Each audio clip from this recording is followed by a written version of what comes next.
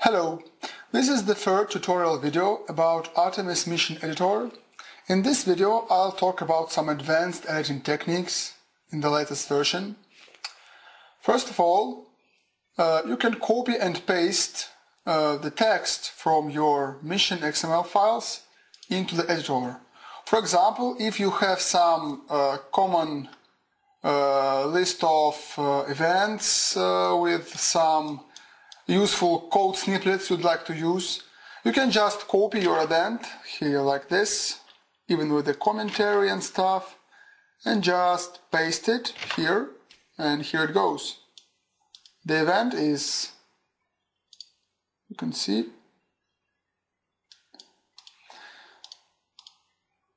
Here it is. It's just copied there.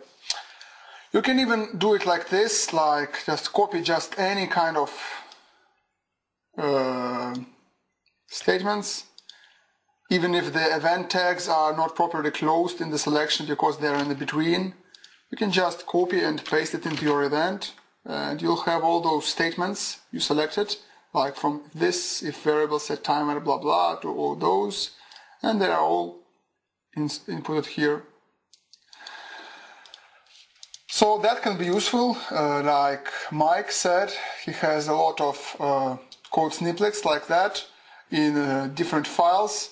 You can just search them for search for the exact one with your normal XML or Notepad or other text editor, and then copy and paste the desired event into this mission editor. So here's that. Then I'd like to show the search functionality I've added. The find and replace. You can look uh, through your mission. Let me load some bigger mission like hammock sector. You can look for any kind of text and you can look in displayed statement text like set property can build. You see There it found it for me. You can look in XML attribute names, like for example, you like, you'd like to find uh, every uh, every statement in the game that uses specific uh, attribute name, like some use GM selection.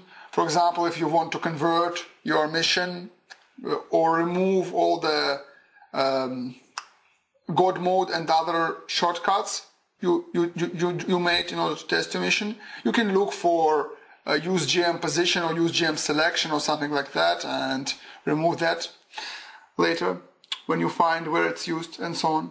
You can of course look in the attribute values. For example, you can look for Warsaw in attribute values and we'll find, find all the uses of the, this name. You can also uh, look in exact attribute names. For example, you want to find where Warsaw is a target name. Uh, it's not a target name anywhere. Okay. Um, for example, find where Artemis is a target name. Here you see it shows all the statements where Artemis is the target. Then you can look in commentaries. I call the commentaries that mention Artemis. Also, you can look in mission node names, uh, those mission node names here, for example, event 45. And there is no event 45. Strange. Ah, yes it's already selected. Here, here's that. And then you can also specifically match the case, like for example, if you want to find where Warsaw is incorrectly typed with a small letter, maybe we can um, we should look into values, of course, and display statement text, mm, and in all the attribute names. We can find all that and check if we mistyped it somewhere for example, with a lowercase letter, and so on. Also, there's replace functionality. you can replace anything with any, ah yes, sorry. You can also match the exact value, for example, so it won't show stuff like Warsaw's back and so on. You can match the exact value. So it only shows where it's Warsaw and nothing else. So it won't match stuff like this. And without exact value, it will. And you can only look in the selected node. Like if I only want to look inside this event 45, um, for example, weeks. Here it finds uh, where weeks is mentioned inside this exact event that is selected. Then the replace functionality. You can replace any text with any text, just as usual. And you can replace in XML attribute values. You can also specify the exact attribute name. You can replace in commentaries and in mission node names. Like for example, I want to rename all the event node names to something like abracadabra. And here's that. It's now all replaced throughout the whole mission. Or, or for example, I want to rename Warsaw to some what did Mike say? Niagara. Let's do it. And here's that.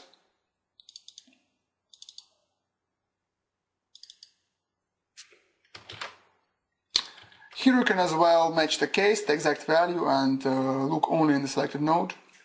And as you mentioned, if you are using the find all or replace all functionality, a window pops up here in the bottom that shows all the found results or, or, or all the replaced results. Uh, so you can navigate them. Double click or press and enter selects uh, the item. For example, if I want to quickly select this one, I double click it and here it is, or then that one. And uh, those items are also, as you can see, highlighted in the list like this. So that you can quickly find. And you can always clear the result list that will also clear the selection for you. And well, that's pretty much it about the find and replace functionality. The hotkeys are just as usual Control F and Control H. And the last one is the ability to edit some other and create statements at the space map. I plan to add all the statements that have a point or a kind of uh, space uh, figure in them to be editable on the map. But right now you can only edit, well, you can already edit most of them because they're not, there are not very much of them in the game. For example, destroy a nameless object which is a destroy near statement, uh, which is the in the point mode. This one you can edit on the space map. You use uh, Control F2 hotkey. You can use it from, from here as well. Just press Control F2 from here, or even if you are in, in the edit inside, uh, focused on some label, you can just press Control F2. It shows the space map as usual. I think I'll better show it with um, bigger mission. So let's say in this, here we create an enemy. In this, in this event we create an enemy. And in this event we will destroy some nebulas so we can now, uh, we, we see all the objects from the start node, the nameless objects, and the silhouettes of the named objects like layers, neutrals, and we can specify the space object. Uh, this time it's a circle because it's a destroy near statement, and in this statement you specify the amount of meters from some point in which specifies the circle of the sphere inside which the object chosen, like the nebulas, will be removed. So we you can use the usual hotkeys like space to move the object or uh, left mouse click as well because you can't select anything here. You don't have to select. So the left mouse click is also to move the object. The right mouse click is as usual to move the map around. Uh, the scroll is to move the object up and down, also as usual on the space map. And alt click is to set the radius so as you see, it's uh, very useful. For example, if you want to remove nebulas, you can check how it will look. Like, for example, if I, if I'm correct, this mission should have removed, yeah, here it has removed nebulas. So you can visually see what's this about. It's about removing nebulas in this circle. Right now you can use, you can edit destroy nebulas, uh, add AI command, uh, what was it? Yeah, point throttle and uh, direct object to point. If it's a point, you just specify the point and it's height, nothing more. Uh, in the nearest future, you will also be able to edit uh, if statements, uh, if inside, outside, where is it? Uh, sorry, wrong, wrong hotkey.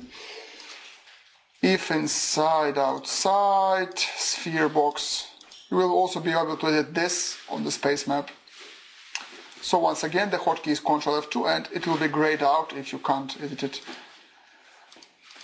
Well, uh, that's all I wanted to talk about in this video.